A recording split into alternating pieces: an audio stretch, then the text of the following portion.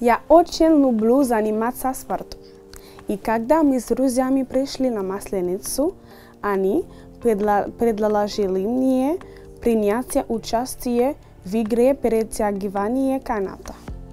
Я сказала, что лучше посмотрю, как они делают, и пока поем блины. Но они все заставили меня как сделать, и моя команда победила.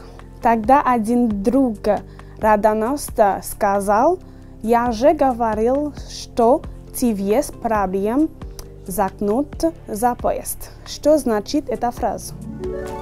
Заткнуть за пояс, оказаться лучшим, значительно превзойти кого-то. Устойчивое сочетание «заткнуть за пояс» употребляется в тех случаях, когда в споре, поединке или соревновании один человек в значительной степени превосходит другого. Есть несколько вариантов происхождения этого фразеологизма. Первый связан с ролью пояса в жизни человека. Раньше эта вещь была обязательным элементом в костюме русского человека. Если его хотели унизить или опозорить, пояс принудительно снимался, как, например, у крестьян перед поркой – Вторая версия связана с практическим применением пояса. За него обычно убирали мешающиеся или ненужные предметы.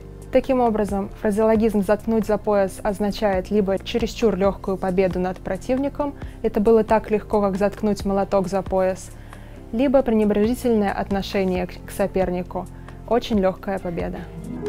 А на моем языке, на креольском языке, это звучит так – ganhar de pinvler no café.